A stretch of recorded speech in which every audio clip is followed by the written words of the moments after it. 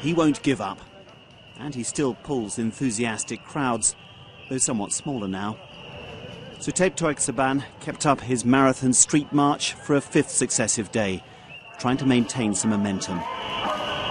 But after months of this, without movement on either side, violence has become an everyday occurrence. And here, close to Thailand's most prestigious university, Mr. Suthep narrowly avoided injury when an explosive was thrown, apparently from the second story of a nearby building. Nearly 30 protesters and guards were injured. There was gunfire at a protest site north of Bangkok too.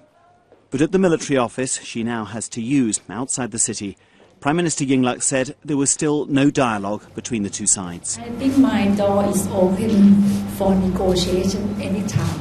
So I think we would like to ask for the protester that if a protester can open the way, so I think someone can find a way to talk. The cheery faces they show on their marches are deceptive. There is intense hostility towards the Prime Minister's family here, stirred up by weeks of fiery speeches. I asked her whether she believed it would help if her family retreated from politics. No one wants to just stand and let people hate you every day. But I told you that this is the job that I have to respond. If I don't respond, I just like ignore because someone complained me and I said, I don't know what's going to happen with the democracy of Thailand. So that's why it's not only the, the role to hold for my reputation of my family, but we have to keep the de uh, democracy.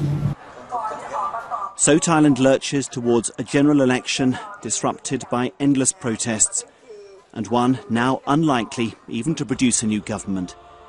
It is a frighteningly uncertain outlook for a once stable and promising country. Jonathan Head, BBC News, Bangkok.